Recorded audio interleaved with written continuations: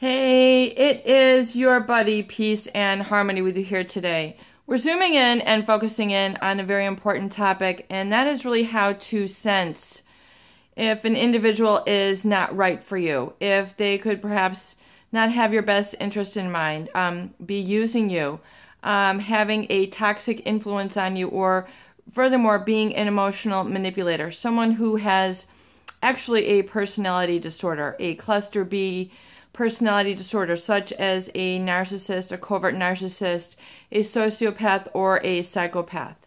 How do you really determine this? How do you really protect yourself? How do you learn to identify and become intelligent about people?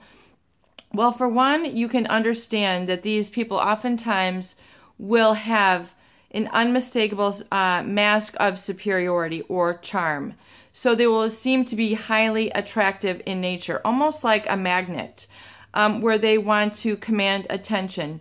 They want to command your eyes, your ears, your uh, focus. Um, they can be very distracting.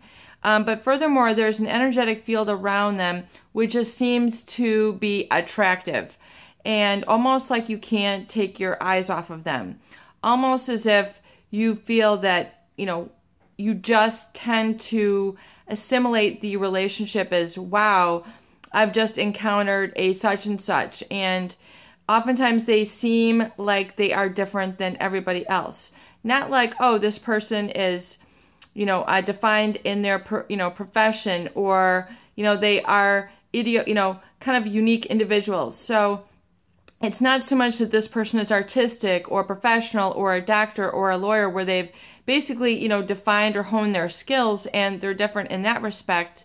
You tend to feel that there is something different about them. In other words, you might have a you know jaw dropping um, experience where wow this person has never given me this type of attention before this this date is never like no one else who I've ever encountered. So you tend to want to drop everything to be with this person and then very quickly the love bombing starts where your world becomes absorbed by them. And a lot of people then equate this or with a misunderstanding or erroneous judgment then begin to define it positively saying wow the prayers to my answers have just arrived. This is my knight in shining armor. This is my nitrous in shining armor. You know, you tend to make all these assimilations or leaps of judgment. And, you know, people, you know, furthermore, just tend to dive head into a relationship because they feel that there is something quote unquote so different about this person. And they then, you know, furthermore, this experience is the love bombing. And these individuals see when they are pulling one over on another. In other words, we talk about it somebody being hooked. Um, and not just as a relational manner where your boundaries are respected, your integrity is, is respected, your needs are respected, you have an empathetic relationship. In other words, there's a give and take um, that is also, you know, defined by empathy. These individuals do not have empathy.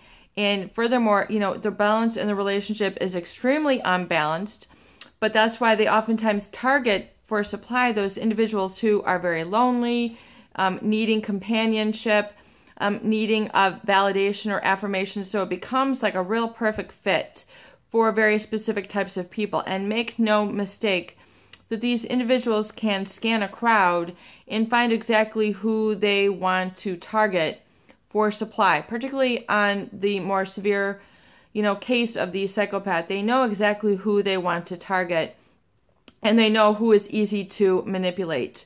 Those people who are overly kind, generous, naive, you know, those sort of qualities. And don't define this negatively if you have, you know, been in a relationship with these people. It is just how quote unquote good these people are. And so oftentimes you might say, you know, the other issue is that, um, you know, other people might compliment this person for, wow, look how, you know, that guy was good. He really, you know, had a great affair behind the back and, um, you know, nobody knew. Or she is so good, you know, they um, might use that terminology so it can be very confusing and furthermore leave you without a lack of, you know, with a lack of support. In other words, they just go, wow, well, it was just an affair. Or that guy is just a sex addict or that girl is just, you know, a, a sex, you know, uh, you know, magnet, or they might just say that, you know, a very charmer, a player, they, they might just, you know, sweep it off like that.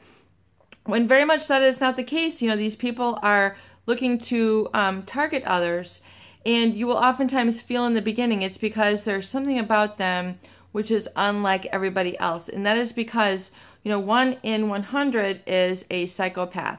Um, and so you need to realize that, you know, out of these, this percentage, of, of the population that there are people who have a neurochemical network in processing of emotions which is different from humanity and not supportive and not based on empathy, care, consideration, love, uh, you know, um, you know, equality, things of this nature. There's people who very much think very much to the contrary. Um, and it has been described, you know, like an interspecies predator. These people will really take advantage, hurt, and destroy others, and oftentimes take a pleasure by hurting others. So, um, it is very important to define perhaps that experience. See if you can find that experience within the relationship that you're thinking about that has been harmful, and see if indeed you did kind of feel this in the beginning, but maybe not pay attention to that inner voice while it was occurring or trying to get your attention. It is your buddy, Peace and Harmony, with you here today, and I hope that these videos do help. Please share and please subscribe for more great tools, videos, discussion, and support.